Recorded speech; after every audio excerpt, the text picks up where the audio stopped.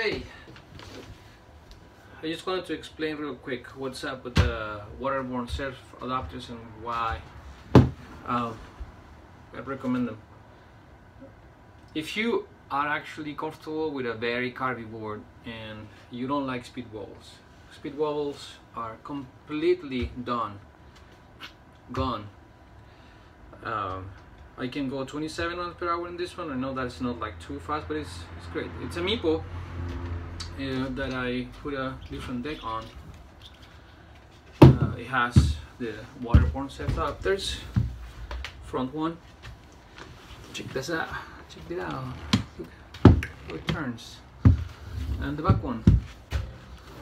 Back one doesn't turn at all.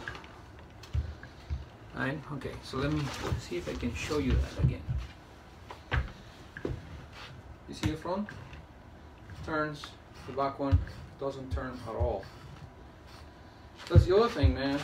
Um, when you get your board set up with this, you are gonna be riding a model like that on top of the rear truck. That's me. I usually put my foot like a lot further, um, but that's kind of how it's more stable. You'll realize as soon as you put these things on, you'll be like, oh my god, it's a completely different trip. You see the front turning, the back isn't. The walls come from the back and when we put too much weight on the back and uh, it turns and it gets out of control for overcompensation. This absolutely eliminates it because I'm pretty much completely on the, the rear truck. Most of my weight is in it.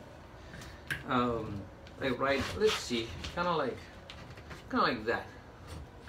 When my back foot is on the tail. So uh, you you if you can get a deck with a tail, man, that's a shit. Um, shorter the deck, the more turn. Uh, these uh, 90s do touch a little bit there, you know. If I really carve it, you're never gonna wanna do that much. Well, carve. That's like a that's like a, a, a three foot radius or something. Um, yeah, so pretty sensitive uh, now if you talk about bushings. The bushings that I have in the back um, are these ones. These ones are the ones that were um, replaced. And the reason is because I don't want the wobble so I don't want the rear truck to to move at all to, to, to steer.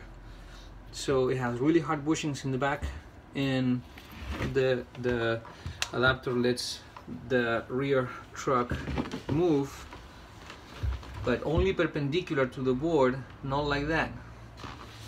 And the front one is super sensitive. Man this thing is awesome. I'll send you a video with a different deck that is similar so you can see what's up with that. But that's mainly the thing you know? It's not rocket science. You just basically take the trucks off pull the adapters on put the trucks on. Boom. And then you got a surfing machine machine